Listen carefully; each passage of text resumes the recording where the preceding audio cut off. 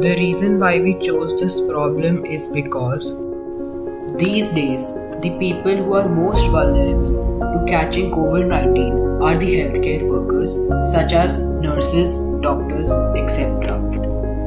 They are the real heroes who keep fighting for our safety and protection. These healthcare workers should be given huge respect for their work. While treating patients, they put their health at risk and have high chances of catching COVID 19. While strict measures are being maintained, but the health of healthcare workers are still at high risk due to the coming and going of patients each day. Hello, doctor. Hello, please take a seat.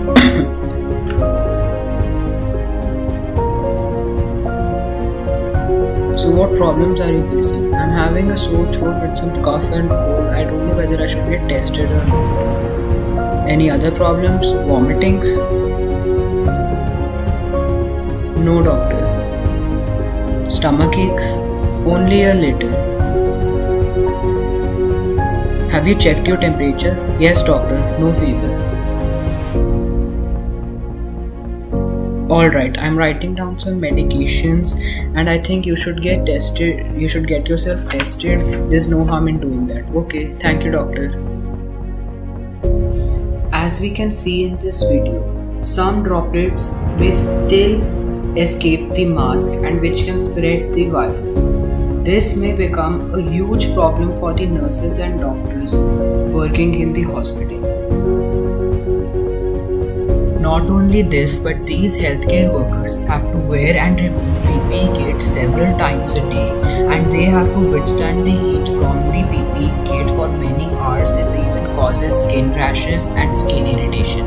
Now, here comes the role of automation and robotics in helping the healthcare workers. Automation and robotics can help in doing much of the work during which the health of the healthcare workers get at risk. For the safety of the nurses, we require an automated system that performs all the basic functions that are to be performed by a nurse in order to prevent the nurse's direct contact with the patients.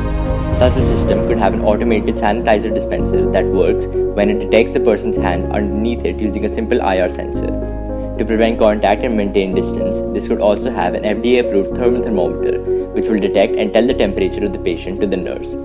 Other modifications in such a system could include a container dispenser that the patient could deposit their saliva in order to give it for testing.